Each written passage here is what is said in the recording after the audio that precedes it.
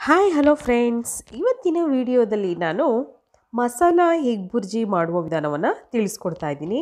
Egg bhurji ಸಾಮಾನ್ಯವಾಗಿ ನಮಗೆಲ್ಲರಿಗೂ ತುಂಬಾ ಇಷ್ಟ ಆಗುವಂಥ ಒಂದು ರೆಸಿಪಿ ಸೊ ಇದರಲ್ಲಿ ಸ್ವಲ್ಪ ನಾವು ಚೇಂಜಸ್ ಮಾಡಿಕೊಂಡು ಮಾಡ್ಕೊಳ್ಳೋ ಒಂದು ಎಗ್ ಬುರ್ಜಿ. ತುಂಬಾ ಚೆನ್ನಾಗಿರುತ್ತೆ. ಹಾಗೆ ಇದು ನಾವು ಊಟಕ್ಕೆ ಬೇಕಿದ್ರೂ ಸೈಡ್ ಡಿಶಾಗಿ ಕೂಡ ಮಾಡ್ಕೋಬೋದು. ಇಲ್ಲ ಚಪಾತಿಗೆ ಪಲ್ಯದ ಥರ ಕೂಡ ನಾವು ಮಾಡ್ಕೊಂಡು ತಿನ್ಬೋದು. ತುಂಬ ಚೆನ್ನಾಗಿರುತ್ತೆ. ಸೊ ಮಕ್ಕಳಿಗೆ ಈಗ ಕೆಲವು ಮಕ್ಕಳು ಮೊಟ್ಟೆ ತಿನ್ನಲ್ಲ ಅಂಥವರಿಗೆ ನೀವು ಈ ಥರ ಹೆಗ್ಬುರ್ಜಿನ ಮಾಡಿಕೊಡ್ಬೋದು. ತುಂಬ ಇಷ್ಟಪಟ್ಟು ಮಕ್ಕಳು ಕೂಡ ಇದನ್ನು ತಿಂತಾರೆ ಫ್ರೆಂಡ್ಸ್ ಖಂಡಿತವಾಗ್ಲೂ ಇವತ್ತು ನಾನು ತೋರಿಸ್ಕೊಟ್ಟಿರೋ ಥರ ನೀವು ಹೆಗ್ಬುರ್ಜಿನ ಮನೆಯಲ್ಲಿ ಮಾಡಿದ್ರೆ ಯಾರು ತಿನ್ನಲೇ ಇರೋರು ಇರ್ತಾರಲ್ಲ ಸೊ ಅವರು ಕೂಡ ಇಷ್ಟಪಟ್ಟು ಹೆಗ್ ಬುರ್ಜಿನ ತಿಂತಾರೆ. ಸೊ ಖಂಡಿತವಾಗ್ಲೂ ನೀವು ಟ್ರೈ ಮಾಡಿ. ಓಕೆ ಫ್ರೆಂಡ್ಸ್ ನಿಮಗೆಲ್ಲರಿಗೂ ಆದ್ಯ ಕಲರ್ಫುಲ್ ಯೂಟ್ಯೂಬ್ ಚಾನಲ್ಗೆ ಸ್ವಾಗತ. ನಾನು ಸುಮಾ. ಫ್ರೆಂಡ್ಸ್ ನೀವು ಯಾರಾದರೂ ಫಸ್ಟ್ ಟೈಮ್ ನನ್ನ ಚಾನಲ್ ವಿಸಿಟ್ ಮಾಡಿ ಫಸ್ಟ್ ಟೈಮ್ ನನ್ನ ವೀಡಿಯೋಗಳನ್ನು ನೀವು ನೋಡ್ತಾ ಇದ್ದರೆ ಪ್ಲೀಸ್ ನನ್ನ ಚಾನಲ್ನ ಸಬ್ಸ್ಕ್ರೈಬ್ ಮಾಡಿ ಫ್ರೆಂಡ್ಸ್ ಹಾಗೆ ಬೆಲ್ಲೈಕನ್ನು ಕ್ಲಿಕ್ ಮಾಡಿ. ಅದರಲ್ಲಿ ಆಲ್ ಅನ್ನೋ ಬಟನ್ನು ಕ್ಲಿಕ್ ಮಾಡಿ ಫ್ರೆಂಡ್ಸ್ ಹಾಗೂ ಲೈಕ್ ಮಾಡಿ. ಹಾಗೆ ನಿಮ್ಮ ವಾಟ್ಸಪ್ ಗ್ರೂಪಲ್ಲೂ ಹಾಗೂ ಫೇಸ್ಬುಕ್ಕಲ್ಲಿ ಆದಷ್ಟು ನನ್ನ ವಿಡಿಯೋನ ಶೇರ್ ಮಾಡಿ, ಆಗ ನನ್ನ ಎಲ್ಲ ವಿಡಿಯೋಗಳ ನೋಟಿಫಿಕೇಷನ್ ನಿಮಗೆ ತಕ್ಷಣಕ್ಕೆ ಬರುತ್ತೆ. ಆಗ ನೀವು ನನ್ನ ಯಾವುದೇ ವಿಡಿಯೋಗಳನ್ನು ಮಿಸ್ ಮಾಡ್ಕೊಳ್ದಲೇ ತಕ್ಷಣಕ್ಕೆ ನನ್ನ ವಿಡಿಯೋಗಳನ್ನು ನೀವು ನೋಡಬಹುದು.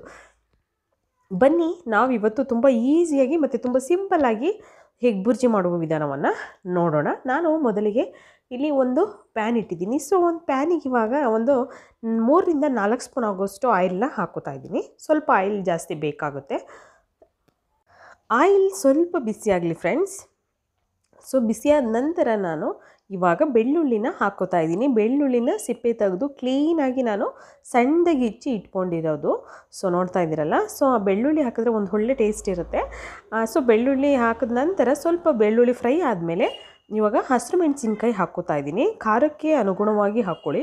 ನಾನಿಲ್ಲಿ ಒಂದು ಅಥವಾ ಎರಡನ್ನು ಹಾಕಿದ್ದೀನಿ. ಸೊ ನಿಮಗೆ ಮೆಣಸಿನ್ಕಾಯಿ ಬೇಡ ಅನ್ನೋದಾದರೆ ನೀವು ಅಚ್ಕಾರದ ಪುಡಿ ಅಥವಾ ಒಣಮೆಣಸಿನ್ಕಾಯಿ ಕೂಡ ಯೂಸ್ ಮಾಡ್ಬೋದು. ಸೊ ನೋಡಿ ಇವಾಗ ನಾನು ಈರುಳ್ಳಿ ಕೂಡ ಹಾಕೋತಾ ಇದ್ದೀನಿ. ಸ್ವಲ್ಪ ಈರುಳ್ಳಿ ಜಾಸ್ತಿ ಬೇಕಾಗುತ್ತೆ ಫ್ರೆಂಡ್ಸ್ ನೋಡಿ, ನಾನು ಇವಾಗ ನೀಟಾಗಿ ಒಂದು ಒಳ್ಳೆ ಮಿಕ್ಸ್ ಕೊಡ್ತಾ ಇದ್ದೀನಿ. ಈರುಳ್ಳಿ ಸ್ವಲ್ಪ ಜಾಸ್ತಿ ಇದ್ದರೆ ಚೆನ್ನಾಗಿರುತ್ತೆ. ಸೊ ಒಂದು ಟೇಸ್ಟ್ ಚೆನ್ನಾಗಿ ಬರುತ್ತೆ. ಸೊ ಈಗ ಈರುಳ್ಳಿ ಕಲರ್ ಚೇಂಜ್ ಆಗಿದೆ ನೋಡ್ತಾ ಇರ್ಬೋದು. ಅದಾದ ನಂತರ ಇವಾಗ ನಾನು ಟೊಮೊಟೊನ ಹಾಕೋತಾ ಇದ್ದೀನಿ. ಸೊ ನೋಡಿ, ಟೊಮೊಟೊ ಹಾಕಿ ಇವಾಗ ಫ್ರೈ ಮಾಡ್ಕೊಳ್ಳೋಣ ಇದನ್ನು. ಸ್ವಲ್ಪ ನೋಡ್ತಾ ಇದ್ದೀರಲ್ಲ? ಈಗ ಮಿಕ್ಸ್ ಮಾಡ್ಕೋತೀನಿ ಮೊದಲಿಗೆ. ಓಕೆ ನೋಡಿ, ನಾನಿಲ್ಲಿ ಹುಳಿ ಟೊಮೊಟೊ ಉಪಯೋಗಿಸ್ತಿಲ್ಲ. ಮಾಮೂಲಿ ಬಾದಾಮಿ ಇರುತ್ತಲ್ಲ ಸೊ ಆ ಟೊಮೊಟೊನ ಉಪಯೋಗಿಸ್ತಿದ್ದೀನಿ. ಹುಳಿ ಟೊಮೊಟೊ ಆದರೆ ಒಂದು ಅರ್ಧ ಉಪಯೋಗಿಸಿ ಸಾಕು. ಜಾಸ್ತಿ ಹುಳಿ ಹುಳಿ ಇದ್ದರೆ ಅದು ಚೆನ್ನಾಗಿರಲ್ಲ ಟೇಸ್ಟ್ ಬೇರೆ ಥರ ಇದು ಆಗುತ್ತೆ. ಸೊ ಇವಾಗ ನಾನು ಸ್ವಲ್ಪ ಉಪ್ಪು ಹಾಕ್ಕೋತಾ ಇದ್ದೀನಿ ಫ್ರೆಂಡ್ಸ್ ನಿಮಗೆ ರುಚಿಗೆ ಅನುಗುಣವಾಗಿ ಹಾಕೊಳ್ಳಿ ಉಪ್ಪು. ಅದಾದ ನಂತರ ಅಚ್ಕಾರದ ಪುಡಿ ಒಂದು ಸ್ಪೂನ್ ಆಗೋಷ್ಟು ಹಾಗೆ ಸ್ವಲ್ಪ ಗರಂ ಮಸಾಲ ಹಾಕೊಳ್ಳೋಣ.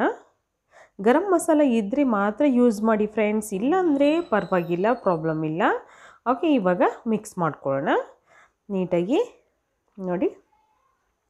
ಈಗ ಒಂದು ಒಳ್ಳೆ ಮಿಕ್ಸ್ ಕೊಡ್ತಾ ಇದ್ದೀನಿ. ಈಗ ಅದು ಈರುಳ್ಳಿ ಬೇಯ್ತಾ ಇರಲಿ. ಈ ಕಡೆ ನಾನು ಒಂದು ಬೌಲಿಗೆ ಮೊಟ್ಟೆನ ಒಡೆದು ಹಾಕೋತಾ ಇದ್ದೀನಿ, ಹಸಿ ಮೊಟ್ಟೆಗಳನ್ನು. ನೋಡಿ.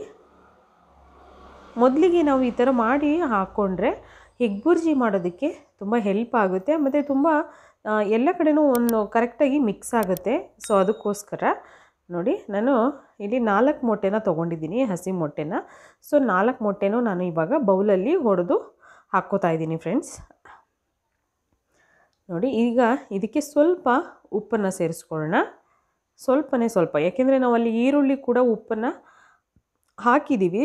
ಸೊ ಅದಕ್ಕೋಸ್ಕರ ಇಲ್ಲಿ ನೋಡಿಕೊಂಡು ಉಪ್ಪು ಹಾಕ್ಕೊಳ್ಳಿ. ಸ್ವಲ್ಪ ಒಂದು ಚಿಟಿಕೆಯಷ್ಟು ಹಾಕಿದ್ರೆ ಸಾಕಾಗುತ್ತೆ ಫ್ರೆಂಡ್ಸ್ ಓಕೆ ನೋಡಿ ಸ್ವಲ್ಪ ಹಾಕ್ಕೊಂಡಿದ್ದೀನಿ.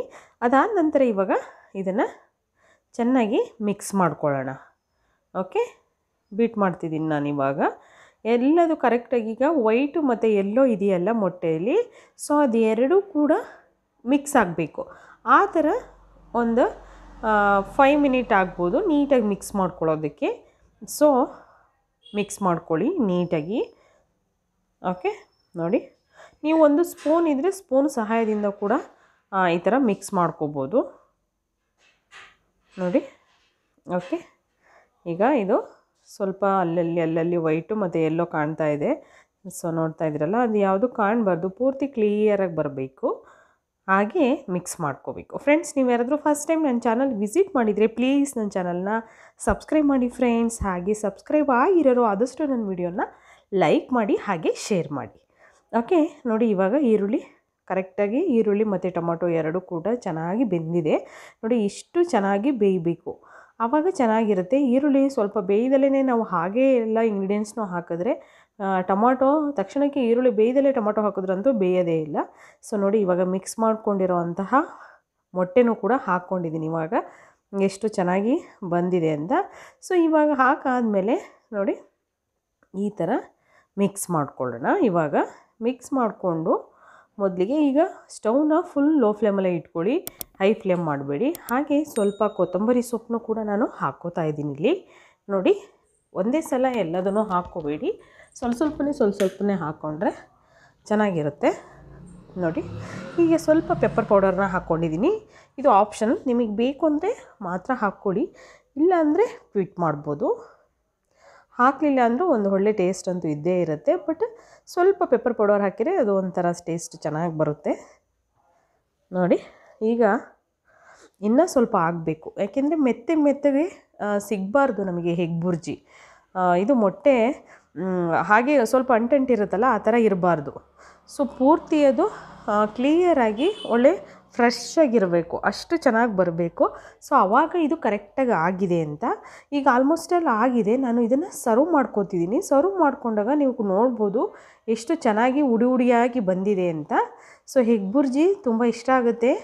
ಮಕ್ಕಳಿಗೀಗ ತಿನ್ನಲ್ಲ ಅನ್ನೋರಿಗೆ ಇದು ಮೊಟ್ಟೆಲಿ ಮಾಡಿರೋದು ಅಂತ ಗೊತ್ತಾಗೋದೇ ಇಲ್ಲ. ಅಷ್ಟು ಚೆನ್ನಾಗಿರುತ್ತೆ ಕ್ಲಿಯರ್ ಆಗಿರುತ್ತೆ.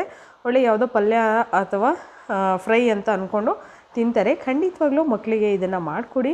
ನಿಮಗೂ ಮತ್ತು ಮಕ್ಕಳಿಗೂ ಕೂಡ ತುಂಬ ಇಷ್ಟ ಆಗ್ಬೋದು. ಆದಷ್ಟು ನಾವು ಹೆಲ್ದಿ ಫುಡ್ನ ತಿನ್ನೋಣ ಫ್ರೆಂಡ್ಸ್ ಮನೆಯಲ್ಲೇ ಮಾಡಿರುವಂತಹ ಅಡುಗೆ ತಿಂಡಿಗಳನ್ನು ತಿಂದು ಹೆಲ್ದಿಯಾಗಿರೋಣ ಆದಷ್ಟು.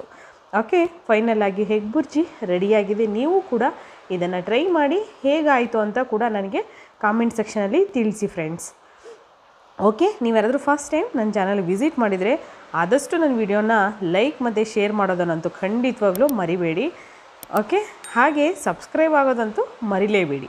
ಓಕೆ ಫ್ರೆಂಡ್ಸ್, ನಾನು ಇವತ್ತಿನ ವಿಡಿಯೋನ ಇಲ್ಲಿಗೆ ಮುಗಿಸ್ತಾ ಇದ್ದೀನಿ. ಅದಕ್ಕಿಂತ ಮುಂಚೆ ನಿಮ್ಮ ಯಾರಾದರೂ ಹೊಸದಾಗಿ ರೆಸಿಪಿಗಳನ್ನು ನಾನು ಹೇಳ್ಕೊಡ್ಬೇಕು ಅನ್ನೋದಾದರೆ ಖಂಡಿತವಾಗ್ಲೂ ನನಗೆ ಕಾಮೆಂಟ್ ಸೆಕ್ಷನಲ್ಲಿ ತಿಳಿಸಿ ಫ್ರೆಂಡ್ಸ್. ನಾನು ಆದಷ್ಟು ನೀವು ಹೇಳಿದ ವಿಡಿಯೋಗಳನ್ನು ನಾನು ಮಾಡೋದಕ್ಕೆ ಟ್ರೈ ಮಾಡ್ತೀನಿ. ಆಗ ನಿಮಗೆ ಅಡುಗೆ ಕಲಿಯೋದಕ್ಕೂ ತುಂಬ ಹೆಲ್ಪ್ ಆಗುತ್ತೆ. ಓಕೆ ಇವತ್ತಿನ ವಿಡಿಯೋನ ಇಲ್ಲಿಗೆ ಮುಗಿಸೋಣ. ಮತ್ತೆ ಮೀಟ್ ಮಾಡ್ತೀನಿ ನಾನು ಅನದರ್ ಲಾಗಲ್ಲಿ ಅಲ್ಲಿವರೆಗೂ take care bye see you